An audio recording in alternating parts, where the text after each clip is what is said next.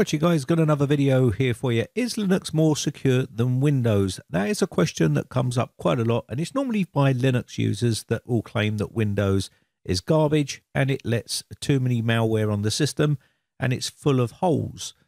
Well, let's put it this way. Linux and Windows can't claim to be 100% bulletproof and to protect you 100% because all of them have security holes and major security flaws. This video is sponsored by CD Key Sales. To get your Windows 10 Pro key, click on the Buy Now button, put in my promo code capital B, capital R 09. Apply this to get 25% off the purchase price.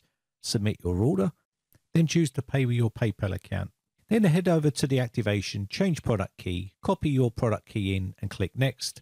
Then click on activate to activate your Windows 10 Pro.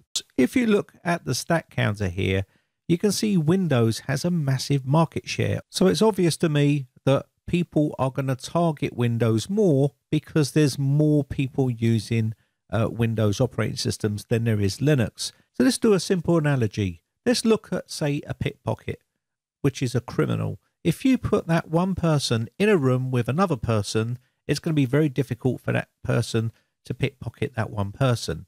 And that is a Linux user. Now let's put Windows people in that room. There's a ton of people in that room, and that one criminal is going to be able to go in there and be able to pickpocket whoever he likes because there's more choice. That's why they target Windows over Linux. Now you'll get a lot of Linux users believing that they don't have any issues with Linux, but you can see here security flaw, the Linux kernel bug that surfaced after 15 years. That was in March 2021. It's a really serious bug. And a lot of Linux users are probably not going to want people to know about that because it's a 15 year old bug that's been around and it's to do with the kernel, which is very, very serious. So Linux is not immune to problems just like Windows. And yet you can see here a lot of people believe that Windows architecture makes it a lot easier for users to download malware compared to Linux. And on Windows, all you need to do is download a virus and then double click on it and it will run and infect the operating system and that is completely true to a degree. Now many believe the design of Linux is more secure than Windows because of the way it handles user permissions. But that doesn't mean that Linux is immune to problems just like Windows. You can see here, we're finding bugs way faster than we can fix them. That was Google sponsors two full-time devs to improve Linux security. So it doesn't take much to go on the internet and do a bit of research and you'll find problems with Linux just like you will with Windows. So both operating systems are not perfect as we well know. But of course, to the Linux user, they will believe that ransomware does not exist on Linux and neither does malware or any other type of security hole or security flaw or any problems with the operating system. And that's because they've got their head up in the clouds, living with the goblins and the gnomes and the unicorns and the colour rainbows that live up there with them. And it's pretty simple, really. If you want to use Linux, by all means, go ahead and use Linux. It's a good operating system. You can use whatever flavour you want, install it on your system, and be happy. You don't have to become a toxic troll and flame every Windows user because you're the minority that's using a Linux operating system as if you're some sort of special case. But as you can see here, seven year old make me root bug in Linux service, Polkit patched, which is another serious issue. But people just don't seem to want to believe that this happens on Linux based systems, and it does.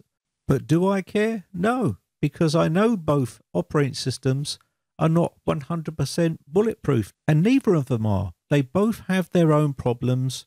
It's just that Windows is more publicized on YouTube and on the internet because more people use it, whereas Linux, only a small percentage use it. It's like you can fit all the users of a Linux on a postage stamp. That's how many people they've got. Now, we all know that Linux supports really old hardware and really old software. And that's probably why a lot of uh, people install Linux because they've got old PCs. But the problem is there comes a big, massive security risk when you're running really old hardware on in the modern day. That means you're going to end up with a lot more security holes and a lot more issues because you're not patching those old hardware. As you can see here with these SCSI drives, they've been around for many, many years and now they're finding issues with them and security holes. And, you know, I'll leave the links to all this stuff in the video description for you.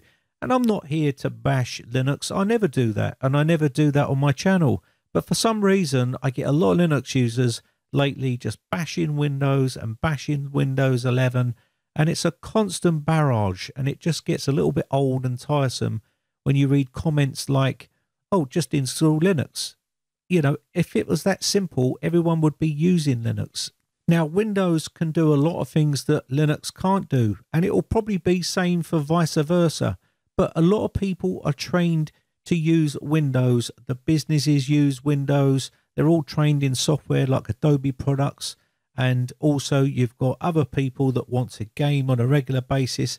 But can Linux do that with ease? No, it can't. There's a few issues. It's not quite there yet.